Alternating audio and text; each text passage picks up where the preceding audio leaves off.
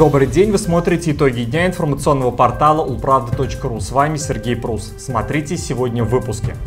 В Ульяновске может стартовать общероссийский эксперимент с платными перекрестками. В Засвияжском районе расширит улицу Александра Невского. Кому вершки, кому корешки, как собирать валежник по закону. Ульяновские спортсмены завоевали высшие награды межрегионального турнира.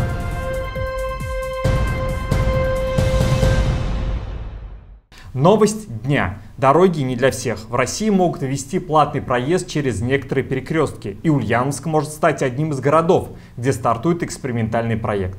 Поясним, плату за проезд перекрестка предполагается собирать только в определенное время суток. Благодаря такой мере, полагают инициаторы нововведения, люди начнут планировать свои поездки и выбирать пусть и более длинный, зато бесплатный маршрут. Таким образом уменьшатся пробки.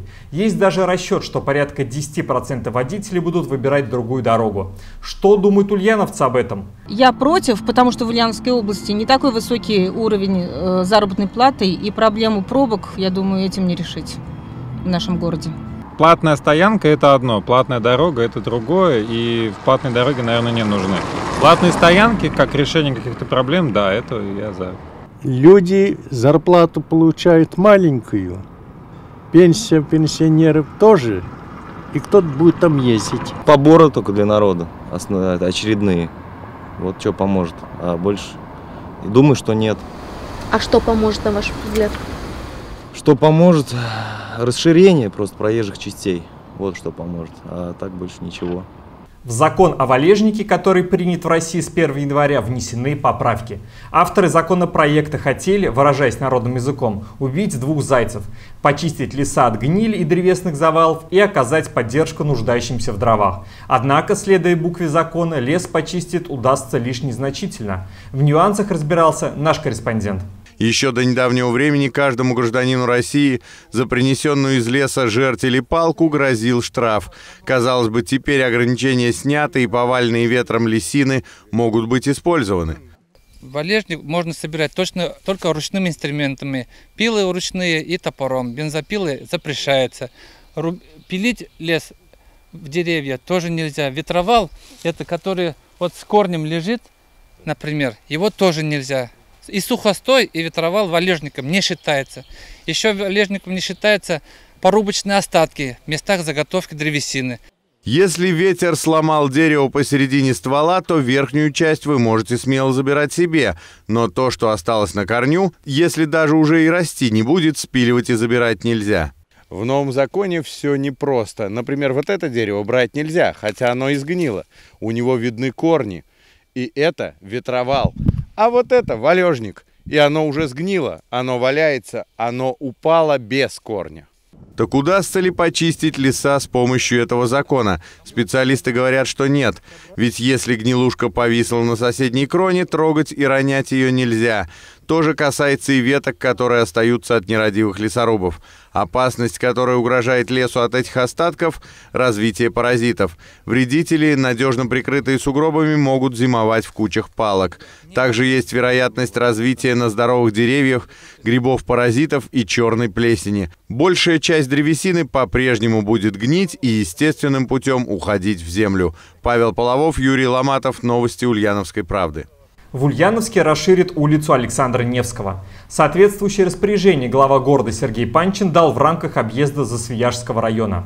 Также решено пустить через микрорайон «Новая жизнь» автобусы большой вместимости «Лиаз». Также будет проработан вопрос установки светофорного объекта на перекрестке улиц Александра Невского и Стасова. Как отметил глава города, микрорайон растет высокими темпами, поэтому поставлена задача обеспечить его транспортную доступность.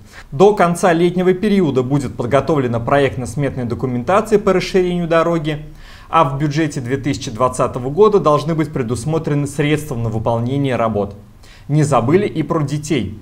Помещение второго корпуса детского сада номер 63 практически готовы. Туда завозится оборудование, мебель и кухня. Планируется, что новое дошкольное образовательное учреждение под названием «Белка и Стрелка» распахнет свои двери для будущих воспитанников уже в этом году. Картины в экспериментальных техниках и символы наследия представила взору публики Анастасия Романова. Художница открыла выставку в кузнечном дворе Корч – о чем повествуют ее работы и к чему привели опыты со стеклом? Подробнее в нашем материале. Пронизанная любовью и теплом в центре города открылась экспозиция художницы Анастасии Романовой. «Приданная» – так называется выставка из 80 работ в различных техниках. Название выбрано не случайно. Анастасия вложила в него сакральный смысл. Не материальные ценности, а духовные. Приданные для автора не сундук с драгоценностями, а таланты и умения, которые наследует девочка. Мастерица рассказала о значении символов, зашифрованных в экспонатах. Крылья для меня это символ творчества, полета, вдохновения, меч, мечты и так далее.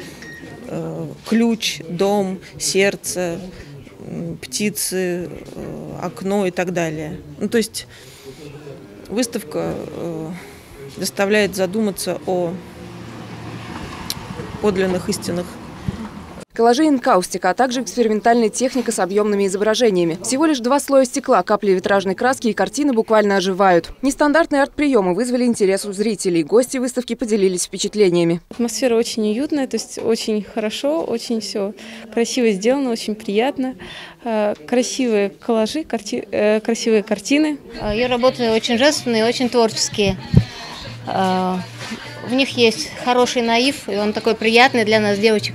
Открытие экспозиции прошло при свечах душевной камерной обстановки. Придан Анастасии Романовой разместился в известном кузнечном дворе Корч на Федерации 21. Выставка будет радовать гостей три месяца. Виктория Черкова, Руслан Баталов. Новости Ульяновской правды.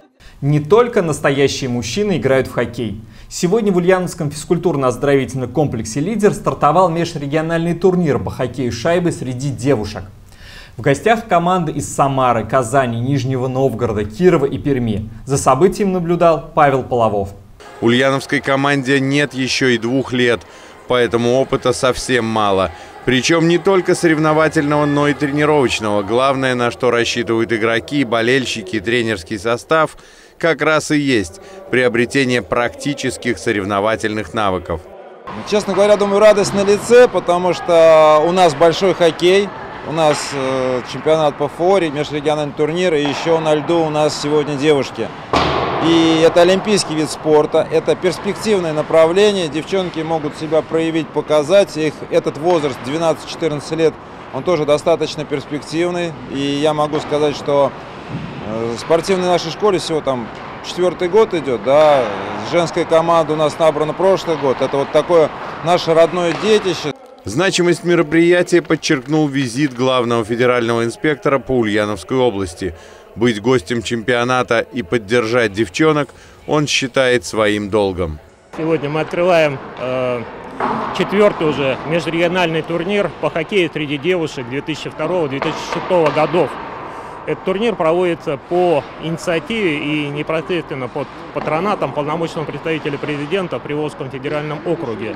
Площадкой для проведения турнира Ульяновск выбран за опыт в организации подобных мероприятий. Как говорят иногородние тренеры и игроки, наш лед очень быстрый, раздевалки удобные, а прием теплый. Соревнования «Фок-лидер» продлятся до четверга. Павел Половов, Юрий Конихин. Новости Ульяновской правды. В поселке Комсомольский Мордовской республики прошел третий открытый межрегиональный турнир Ордатовской епархии по русскому рукопашному бою.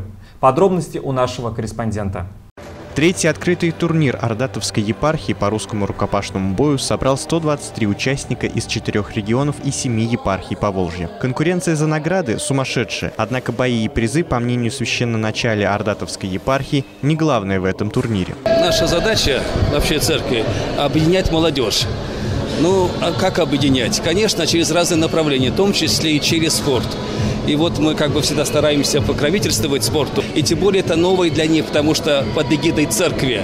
А общаясь с ними, мы невзначай и духовно их воспитываем. За годы проведения внутриреспубликанский турнир вырос до межепархиального, и уже сейчас мало кто возьмется назвать его местным. И участников больше, и их уровень подготовки уже всероссийский. Было очень мало команд, участников около 100 человек, даже поменьше. Второй турнир был, это Нижегородская область, приезжали боевые самбисты из села Сеченова. Было 100 человек, сейчас уже 4 региона. И 123 участника. То есть турнир растет, набирает силу. Большинство из представителей клуба «Пересвет» при Жадовском монастыре – новички. Тем более, что по правилам русского рукопашного боя многие никогда не выступали. Ориентироваться приходилось на ходу. Этим и объясняются немногие невнятные выступления в начале. Зато в финалах и полуфиналах пересветовцы дали жару соперникам. Те, кто уступил в полуфинале, не оставляли шансов соперникам в боях за бронзу. Ну, прежде всего, ребята, соревновательный опыт, 7 золотых медалей, несколько там призовых, третьих, вторых мест. Я считаю, очень хороший результат. Одну из самых боевых золотых медалей выиграл 20-летний пересветовец Николай Даричев. Студент Жадовского сельхозтехникума только восстановился после операции и выступал в более тяжелой весовой категории. Да и соперники Николаю попались не подарок. Уже в полуфинале его наградили истинно мужским украшением. Однако он выдержал и занял первое место. Синяк этого стоит, говорит чемпион. Не только золотой медаль, а для самого себя, что я все еще в строе, все, что я могу заниматься этим спортом и продолжать двигаться, биться дальше, брать другие выше стоящие титулы.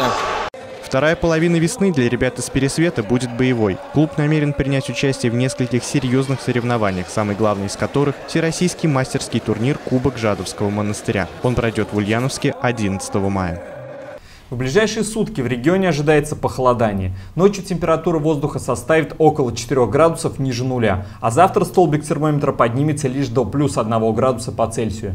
При этом сохранится ясная солнечная погода, а ближе к вечеру ожидается небольшая облачность, магнитное поле спокойное. Это все новости на сегодня. Смотрите нас на информационном портале upravda.ru. До свидания.